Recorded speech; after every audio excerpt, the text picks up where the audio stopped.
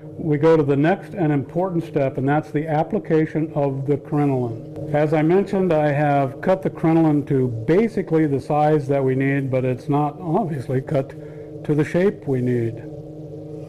We'll lay the crinoline on there so that we can be sure we're going to get enough of a wrap down around the belly and enough of a wrap up over the top of the back and just kind of spread that down into place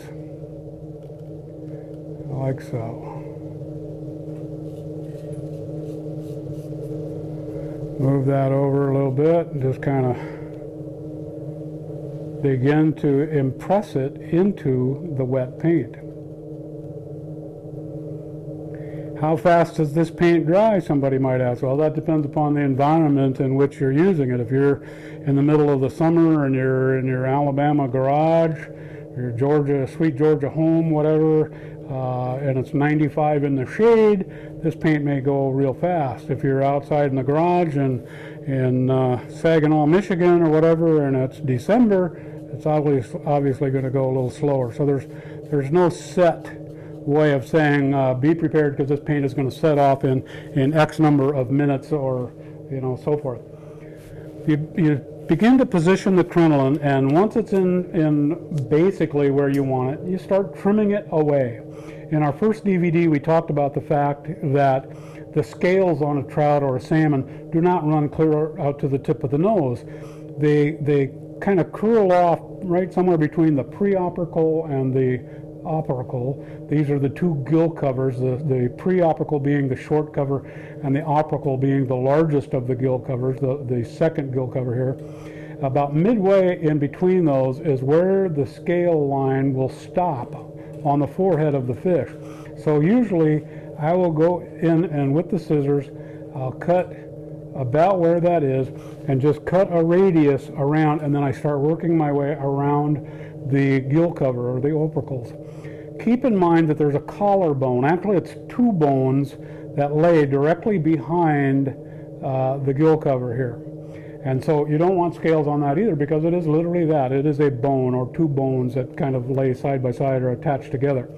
So when we cut this away, we just make sure that we allow for what I'll call the collarbone, okay? And just snip this away like so.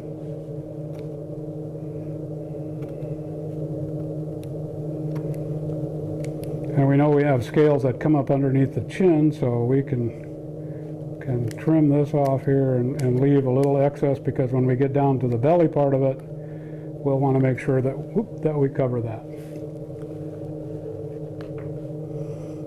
Okay, tap that down into place. Paint is still wet, crinoline still moves, it'll still adjust you know, the abbreviation, or I'm sorry, not the abbreviation, but the interpretation of the word taxidermy means the taxiing of or the movement of dermy, epidermis, dermy, skin, right?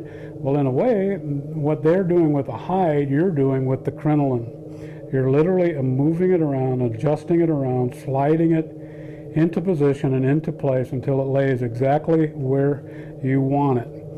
All right? When, when you have it exactly how and where it should lay on the, on the side. You've got the, the head area cut out.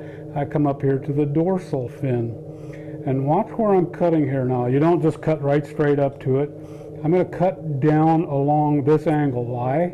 Uh, because if I do it that way, the, the uh, crinoline will fold right back and it'll cover a part of the uh, back right up to the edge of the fin on the back side.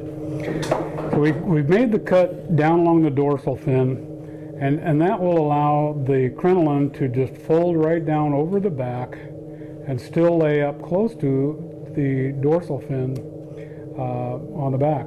Now, if you have a concave or convex situation and the, and the crinoline just doesn't want to pull down real tight, it's a simple matter to just make one cut like so and that will allow you to pull that one like so and this one like that and it allows it to just tuck right into place okay we also know that uh, some fish have scales that go right up onto their fins Uh, some of the bass, as an example, are identified by the fact that they do or do not have scales partway up onto their onto their fins.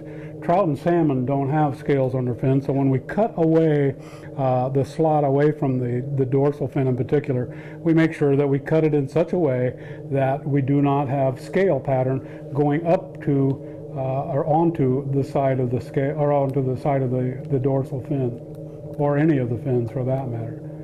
So doing that, we just cut a straight line right across the bottom of the dorsal fin. That allows us to take uh, the crinoline, bring it around on the back side, and pull it down in place, just like so. One of the things that you're going to find that, that uh, makes this work so well is that when the black starts to set up, it gets sticky and it holds the crinoline just, just perfect. The other colors tend to be a little on the thin and runny side, even while they're drying, and they just don't want to hold the crinoline. What we just did on the dorsal fin, we also do on the adipose fin. And just cut that down at an angle like that. See if that'll fold down. If it won't, we make another cut about midway in there like so. And pull one end, snug it down, make sure it's laying up tight on the body. Pull the other side in, make it pull down tight. Kind of tap it in place with your finger, thumb, or what like so. And then the same way that we cut across the base of the, of the dorsal fin, you do the same thing with the adipose or adipose fin. Before I do that, let me take away this part right here. We're going to cut around the, the, the meaty portion of the tail.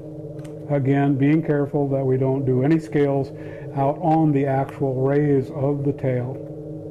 And I know that I'm going to have to uh, cut that little notch in here again to get this to lay down tight. Push the point of the scissors into the crinoline. Cut the slot so that the crinoline will lay over onto the backside of the adipose fin. And you pull that down into place. Again, making sure that as you pull it down, the paint holds on to the crinoline and that it literally embeds itself right in the soft paint. You work your way around. Very important to, to watch what's happening because if you get a bubble uh, in the crinoline, if it's not pulled down snug into the black paint, uh, it could be that the paint is not thick enough, uh, that you didn't put on enough, and it isn't uh, sticky enough to actually hold the crinoline in place. If that happens, it's not a problem. You just take it out, give it a dust or two of, of you know more black paint, go back to work. And so that's all all that takes. So we do this all the way around, secure the crinoline from one end of the fish to the other.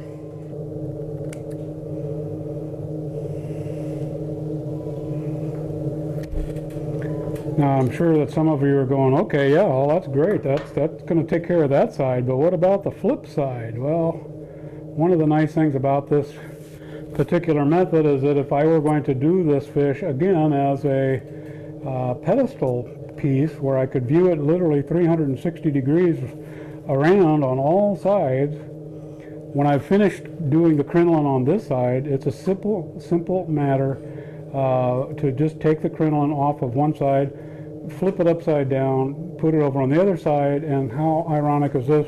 The fin pattern is exactly the same. It goes right back on. And we do the scale pattern on the reverse side.